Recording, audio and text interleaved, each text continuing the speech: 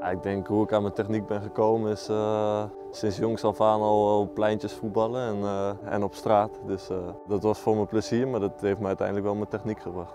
Lammers krijgt de bal weer, kappen, draaien en hop, wegverdediger.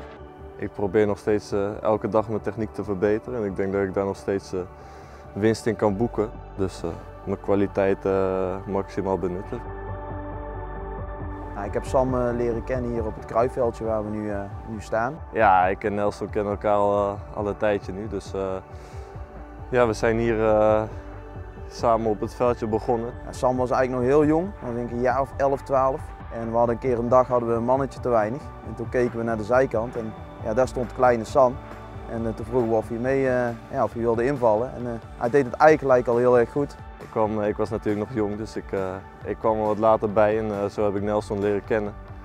En zag ik al gelijk ja, hoe, hoe, goed Nelson was en wat hij, wat hij deed. En ja, sinds die dag is eigenlijk, ben ik een beetje heel erg gecharmeerd aan hem geraakt en wilde ik eigenlijk al met hem gaan werken. Dus ja, zodoende zijn we eigenlijk al, al lang vrienden en hebben we een aantal jaar geleden besloten om met elkaar samen te gaan werken met, een, eh, met een profvoetballer zoals Sam Lammers probeer je natuurlijk maatwerk te, te leveren. En je kijkt natuurlijk zijn wedstrijden, je gaat analyseren waar, waar jij denkt als trainer dat hij nog, nog wat winst in kan boeken. En daar probeer je dan je oefeningen op te maken. Ik denk dat het voor mij, uh, voor mij heel goed is geweest. En ik denk dat, uh, dat het makkelijk is om uh, dingen aan te nemen van iemand die zo goed is. Ik probeer met mijn voetbalschool echt het specialisme techniektraining aan te bieden.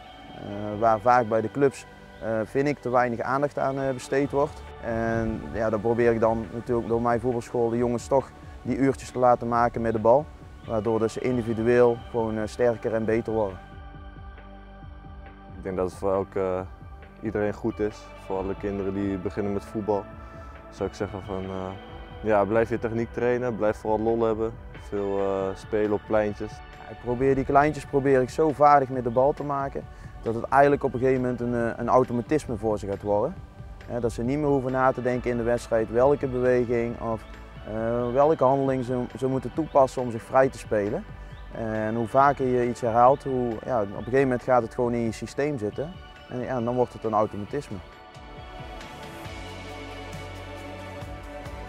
Denk dat je, hoe meer techniek je hebt, hoe meer comfortabel je aan de bal bent.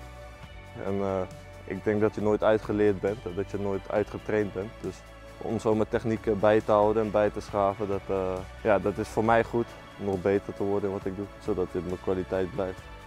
Prachtig gedaan door Sam Lammers.